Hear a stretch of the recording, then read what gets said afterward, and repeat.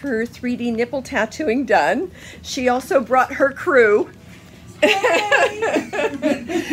we have had so much fun today, but I wanted you to hear from Dixie just a personal experience. I was scared to death. I don't have any tattoos, never even thought about having tattoos.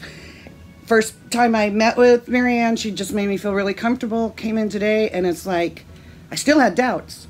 And now it's like I don't want to put my shirt on. They look so good. We can't we're all I have a picture of my daughter and best friend going as she's doing the work. So if you have any doubt, I did too. Trust her, she's fabulous. I'll be back for others.